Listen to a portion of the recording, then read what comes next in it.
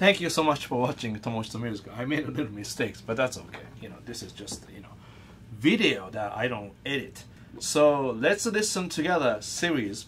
I'm really really excited because uh, some of the song I teach private lessons or class, but then um, I, I never have done this you know this style. So we can listen to it. So this Marlena Shaw, feel like making love. So this song. I've listened to this records and Roberta Flack records too, and um, another one, something Rainbow, uh, like a fusion by um, you know Steve Gadd Eric Gale, Cornell Dupree. Those guys jam with this song. So you know three versions I heard. That's why I made a song, this arrangement with this song for my uh, scholarship tape, which I got a full scholarship because the song I believe.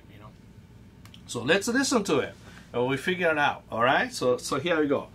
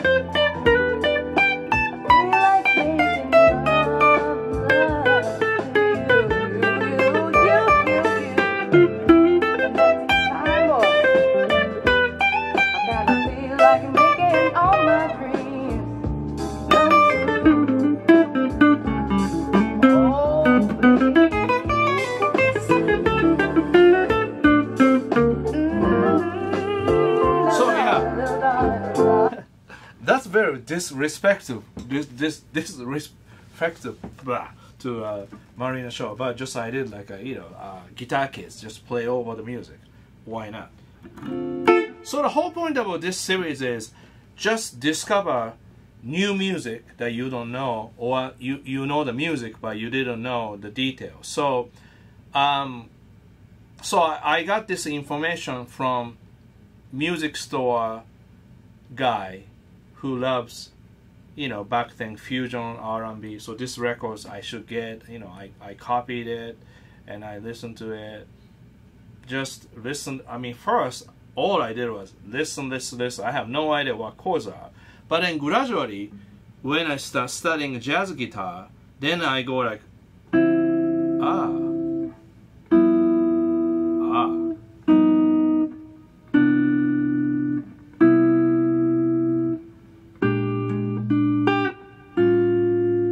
now, when I learn jazz, like that, oh, half step. So this one, D minor 7, D minor 9, G7, but G13. So, you know, usually minor 9 or dominant, major 7. Then usually you go 6, 2, 5, 1, 6, but like that. That's very jazzy. So this is called what we call sub 5. It's really a substitution for E. One, uh, if you don't know theory, you have no idea what I'm talking about. So don't worry about that because you have to study a little bit. You know, nothing, nothing magic. You have to do uh, a little bit work. So here, this chord half step down, and this chord always 13, 9, flat, thir- uh, flat, uh, sorry, flat 5, sharp 11. That's a tension. This guy resolve to minor, so you don't have a 13 because usually uh, flat 13, flat 9 to resolve to minor. So in a way, this song, it's almost like, sounds like a D key of D minor, but no, it's not.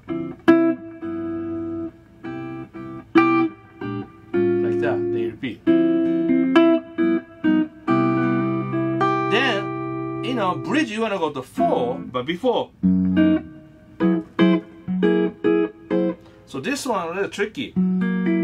I play ninth and you know flat five sharp eleven. So that's really a replacement, you know, substitution for this C C7 to go to C7 flat 13, but really like that. F major 7th, E minor 7th, D minor 7, C major, like that, I think. Maybe not. Oh yeah, ah, just a little.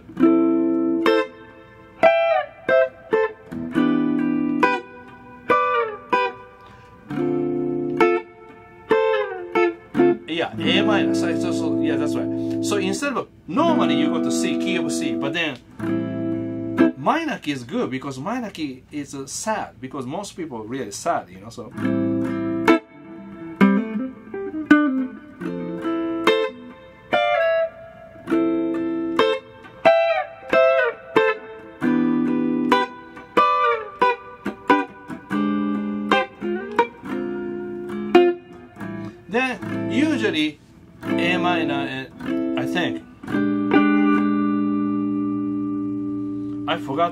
Original song. This is kind of arranged, you know. So this song, you know, sus4 dominant. Then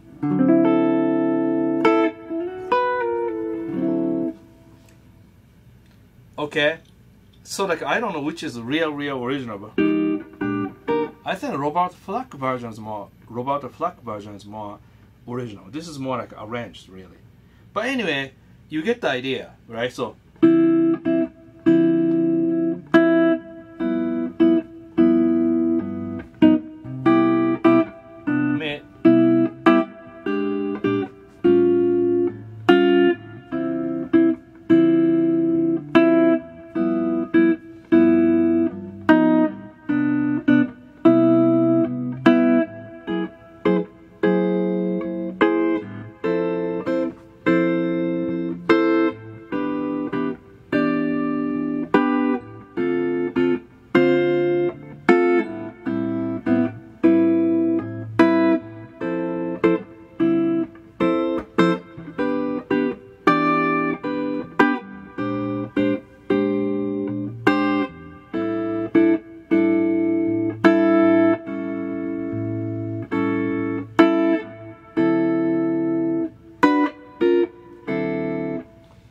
Let me see.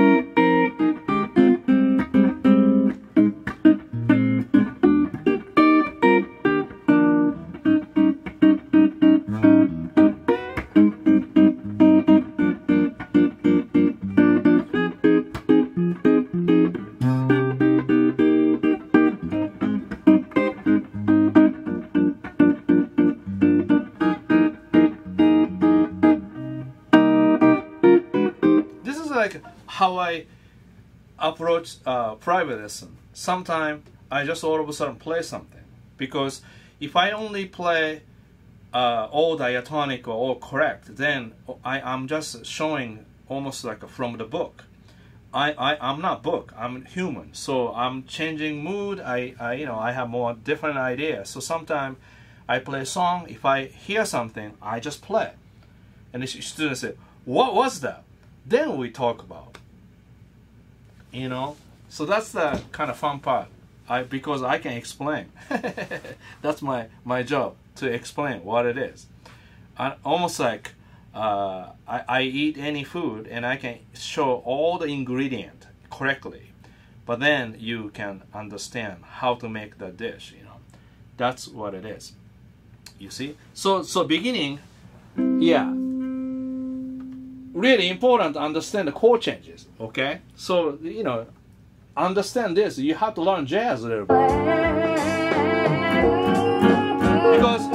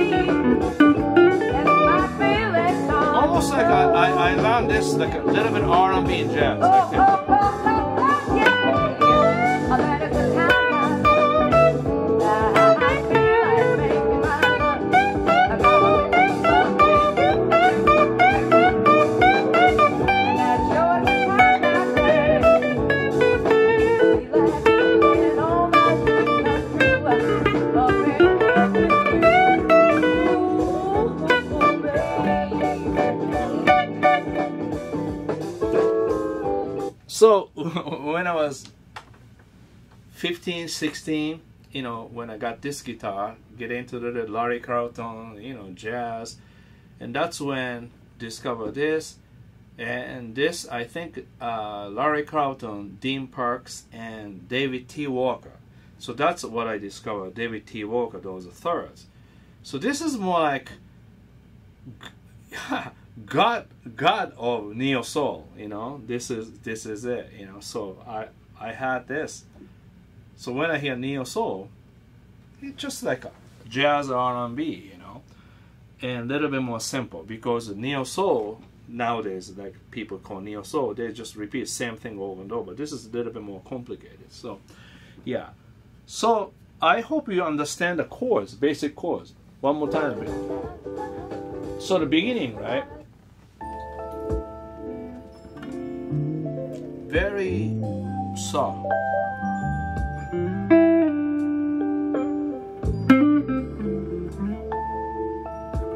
Somebody's a two chords.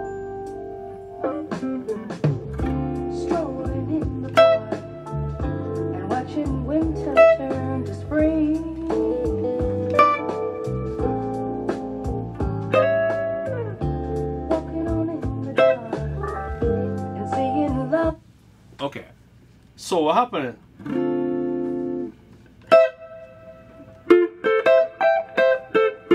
So David T. Walker is Motown guy who plays a lot of Motown records and you know use um, Byrdland, you know, little bit short short scale, 24 inch scale, uh, semi acoustic, semi acoustic. No, no, no, full acoustic, but semi acoustic, like you know, a shape, like a little thin, or I don't know exactly, but you can look up. So that's what he played, and more like he, I can see he loved jazz. He plays more blues, you know, and so his parts, it's not. See, a lot of rhythm guitar back then, people play that, and people play fills. So his case. So that's what I learned. That's like a flat seven and a third. I mean second, sorry.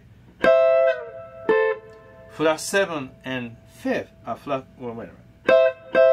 I really uh, made up. So D minor. That's a flat seven and ninth. That's a fifth and flat seven. That's a flat three and a five. Root and flat three.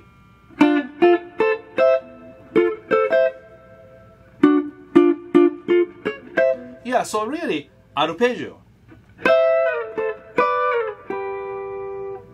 Then, that's B flat.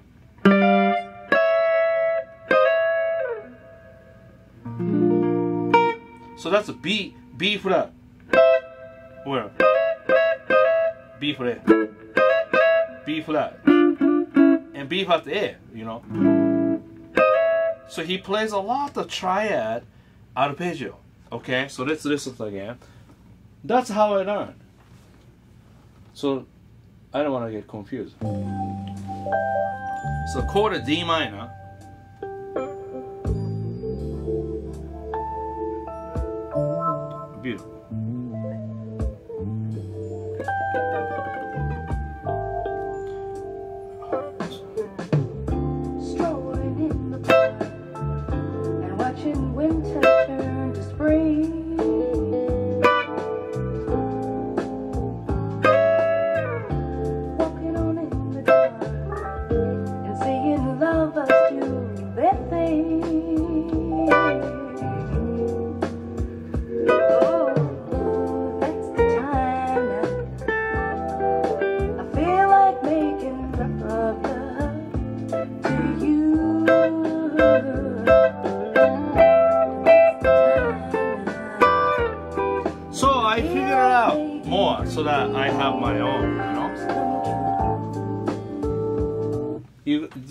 Idea? So that's like you know, okay, D minor.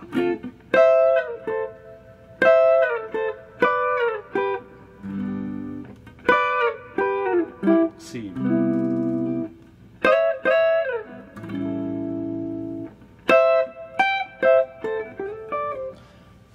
Then, you know, doing sessions, and this actually, when I was seven, 16 or 18, first time ever session at a club restaurant that a lot of professional people, you know, jamming, and I was invited, you know, with the drummer.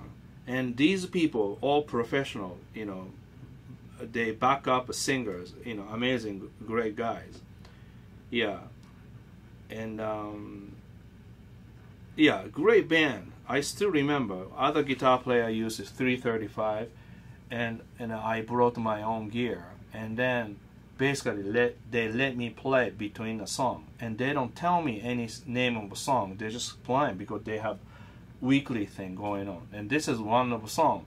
I, I, I heard. I didn't really study it, but I know I love this song because I can play sort of a pentatonic thing. Kind of worked. You know what I mean? So this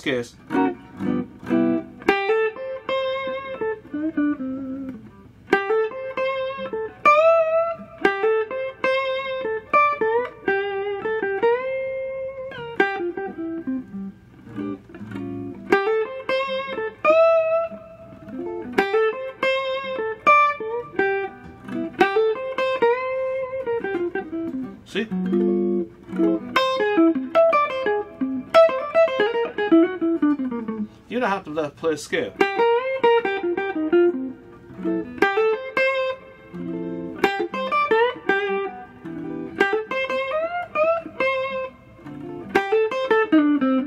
See, that's A minor.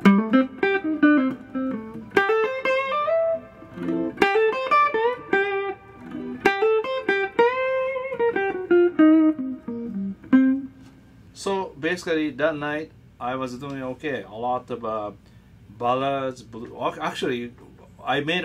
I had original song. I brought original charts and we played it. That's amazing.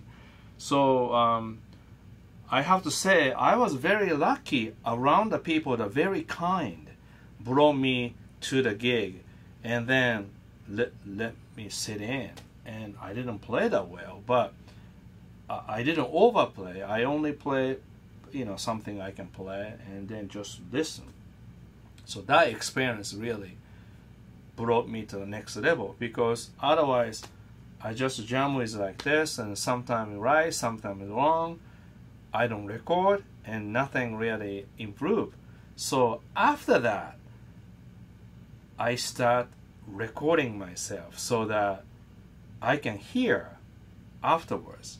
Because when you play, sounds like good, but you don't know your pitch, touch, time, you know. So this way, um, yeah, great. So let's see, just a little bit more. I think that's enough, right? Right here.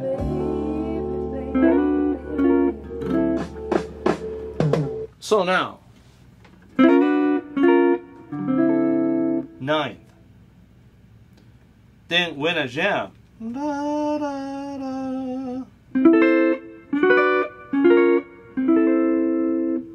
heard that.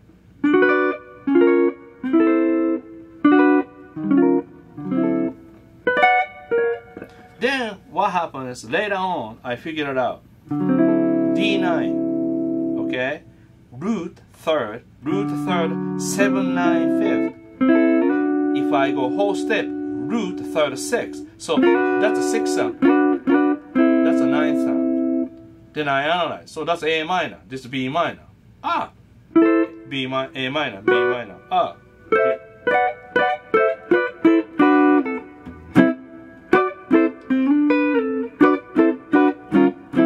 Actually, I just made last week. I just made this um, uh, ninth slide idea with uh, uh, analyzing as a minor trias or at uh, Guitar Wisdom. We'll post that video. It's I made really really super clear with my experience. So now you get this idea uh, the Guitar Wisdom.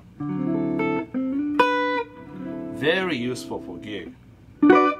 So what happened is if I jam with this one,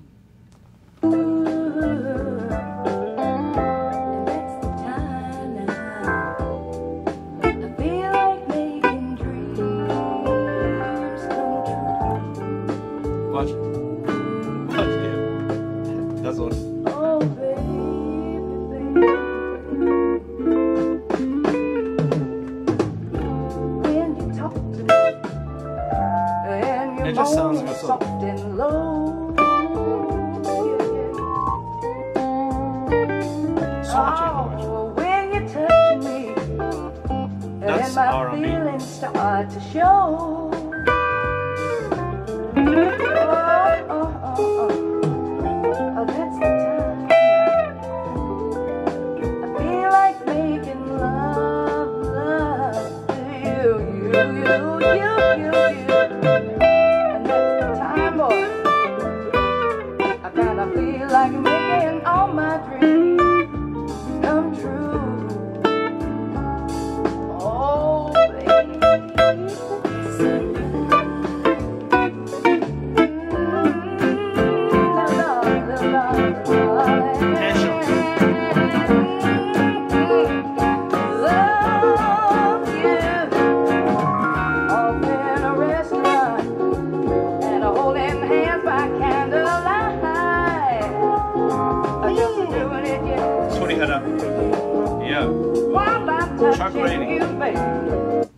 Chuck. I never played with Chuck Rainey, but um, oh, this guy, unbelievable. okay, I think that's way enough information on video. Just learn this song. I think you love it. You know, again, 1967, ES335. I had this long time. I, I'm, I'm really playing this song, this guitar more. Anyway, once again, Marlena Shaw, Feel Like Making Love. And I'm gonna put this link. This is not official for her, but I don't know what's the best way. Probably maybe I should just uh, say what what's the title. Then you can look up Spotify or somewhere so that, you know, musician gets a little bit something. That's it. Thank you so much for watching Tomo Fujita Music, and this is really uh, thrill to do. Um, let's listen together, and we did figuring out. Okay, so please write your request, your comment, and um, if you want to learn more guitar, guitar, uh, guitar, you know, uh, technique and um, you know everything, guitar wisdoms, you you know will help you. All right, thank you so much. Take care. Bye.